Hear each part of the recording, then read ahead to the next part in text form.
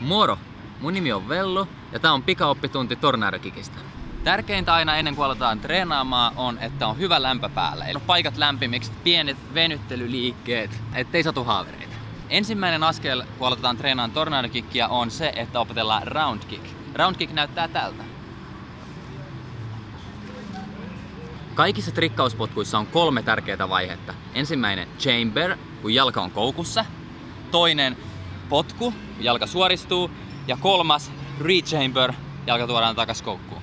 Lähtiessä tekee round kickia, pitäkää potkaseva jalka takana ja nostakaa polvi suoraan kohti kohdetta. Toinen askel, kääntäkää tukijalan varpaat poispäin kohteesta ja suoristakaa samalla potku kohti kohdetta. Silloin kun potku osuu kuviteltuun kohteeseen, nilkka, polvi, lantio ja hartia on yhdessä suorassa linjassa. Silloin tiedätte, että potkuasento on oikein. Kun roundkick tuntuu teille helpolta ja luontevalta, te olette valmiita kokeilemaan tornadokikki.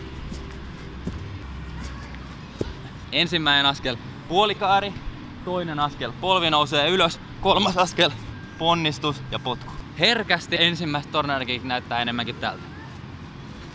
Teidän täytyy potkun aikana saada jo lantio tällä tavalla sivuttain. Jos lantio osoittaa suoraan kohti kohteeseen, alastulla tulee aina. Mutta tarkoitus olisi, että potku tulee kohteeseen jalkapöydällä, eli tällä osalla.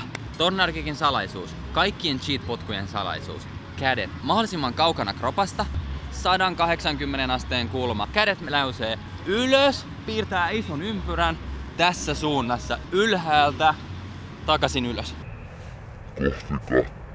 Tulkaa mukaan Vellustan trikkauskurssille, joka alkaa tällä viikolla. Siellä opetellaan muun muassa tornadokikkiä ja erilaisia variaatioita siitä, kuten parafusoa, 540 kikkiä ja cheat 9.